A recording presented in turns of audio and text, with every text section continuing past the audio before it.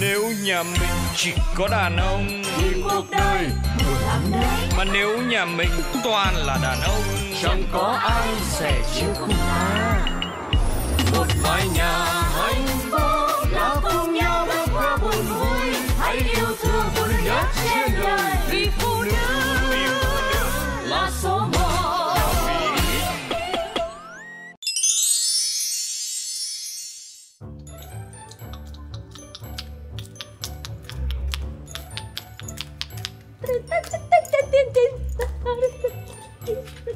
Ôi! Ôi, Chú hù thế cái, cái trái tim non nớt của chị nó, nó, nó, nó bị rụng ra thì làm sao chị mà cũng có lúc giật mình như này á Chứ còn gì nữa Này nhìn chị đấy thôi mà mong manh dễ vỡ lắm Thôi được rồi, em bảo À. em sẽ ờ, xin lỗi chị và em sẽ đền đáp cho chị ờ, bằng một tấm chồng được không? Đây chị nói cho mà biết nhá. Chị tuy là gái già đấy Nhưng mà ừ, không phải cái kiểu vơ bèo vặt tép đâu nhá. Vớ và vớ vẩn. Em có một anh là đối tác của em. Cũng ờ, đứng tuổi rồi mà đến bây giờ vẫn chưa vợ. Thật á? Thật. Đứng tuổi rồi chưa có vợ? À? Thế Vâng. Có vấn đề gì về thần kinh không? Không, hết sức bình thường. Này, là còn làm phó phòng nữa đấy. Phó vòng Ừ. Lương cao. Lương á, nghe đâu khoảng 30 triệu một tháng Nhưng mà còn chưa tính những cái khác nhá. Được tạm được. Đẹp trai. Ờ, hơi đứng tuổi một tí rồi Nhưng mà đẹp dai phong độ lắm. Được. Thế thì là được rồi. Biết ngay mà, nói cái là thích ngay. Nhưng mà phải để hôm nào em sắp xếp cho chị một buổi gặp. Hôm nào là hôm nào? Ừ, Ngay ngày hôm nay Chú phải tổ chức cho chị một buổi gặp luôn Không có để hôm nào. Chị cứ từ từ xem nào. Chị cứ làm như là, là, là, là lấy không, người không, ta. không, không, không, không, từ từ được cái này nó phải luôn và ngay. Cho nó nóng sốt được không Nó phải sốt xình xịch lên đi chứ đi. Thôi được rồi, bây giờ nhá, nếu mà gặp ấy Thì chị cũng phải nhẹ nhàng, điềm tĩnh, bình tĩnh. Dù gì mình cũng là con gái đúng không? Khổ quá không phải dặn chị hiểu rồi. Nói chung là nhẹ nhàng à, Điềm tĩnh duyên dáng là nghề của chị. Rồi, cái thứ hai nữa là anh ý là đối tác của em. Chị mà làm gì mà quá đáng ấy Là hỏng hết cả công an việc làm của em đấy. Biết rồi không phải dặn. Thôi được rồi, đi vào đây. Em em, em bàn tiếp nhanh Lại bàn tiếp à? Ừ. Rồi ui. Đây, đây, đây, đây, anh vào đây Anh vào đây, anh vào đây. Đây, anh, anh ngồi, ngồi, ngồi trong, ngồi trong, ngồi trong. Dạ, dạ anh ngồi đi ạ. Anh ngồi ngồi ngồi. À, giới thiệu với anh. Đây là chị Huyền ờ, người mà em hay kể với anh đấy dạ, còn kia là vợ em. Dạ. chào anh ạ. Chào hai chị em. À, Em chào anh ạ. À, anh ơi đúng rồi. Ờ, trong bếp có nhiều hoa quả ngon lắm. Em vào trong đấy còn hoa quả mời anh ăn nhá.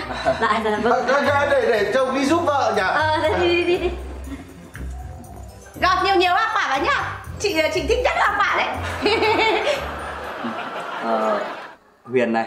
Dạ ờ, Anh có nghe Hớn kể nhiều với em. Vâng.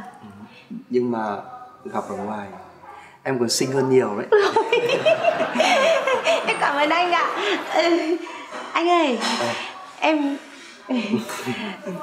Em cứ băn khoăn mãi một điều là không hiểu làm sao mà một con người ờ, đẹp trai, lịch sự, hào hoa phong nhã như anh mà đến giờ này là vẫn chưa tìm được nửa kia của mình nhỉ? Ờ, Anh nghĩ ờ, chắc là do duyên chưa tới thôi Ôi, hay là tại anh kén quá? À không Anh không kén đâu Dạ. Ừm, Thực lòng thì anh chỉ muốn tìm một người phụ nữ Biết vun vén Chăm lo cho gia đình Vâng. Nhưng thực sự khó quá em ạ Thế ạ? Ờ, nghĩa là anh chỉ muốn tìm một người phụ nữ là biết vun vén này, biết chăm lo cho gia đình thôi ạ. Ừ. À, Chỉ đơn giản thế thôi chỉ đơn giản thế thôi. Ừ. Ờ, anh muốn cô ấy là một người ờ, biết làm sao mà sử dụng cái đồng tiền ấy Vâng, để nó phát huy được cái hiệu quả tối đa nhất. vâng. Đơn giản nhất như là cô có thể chỉ dùng 10.000, 10.000 thôi mà nấu được một bữa cơm rất là ngon này, rất là đầm ấm, rất là ý nghĩa cho gia đình 5 người ăn. Mà với người phụ nữ khác ấy, người ta phải dùng đến 250.000 mới nấu được cái bữa cơm như thế. À, em hiểu rồi. Ý anh là chỉ cần 10.000 thôi mà nấu được một bữa cơm cho 5 người ăn mà đầy đủ dinh dưỡng đúng đúng không thế thì nhá anh chỉ có lên Lệ- lên à, à, ừ, dạ em À. mời anh dùng hoa quả. Hoa quả ngọt Ừ. ngon lắm ạ. Anh cảm ơn. Ờ, à, à, à, chị Huyền này Hả? em bảo này em nghe nói là ờ, táo đi. À tôi cảm ơn anh ạ. Cái trung tâm mua sắm ấy Ừ. đang sale dã man lắm chị ạ. Thế à? Cái đôi giày 5 triệu mà chị thích thì bây giờ sale chỉ còn có 3 triệu thôi. À, ừ, ừ, ừ. Này chị còn thích một cái áo 2 triệu đấy.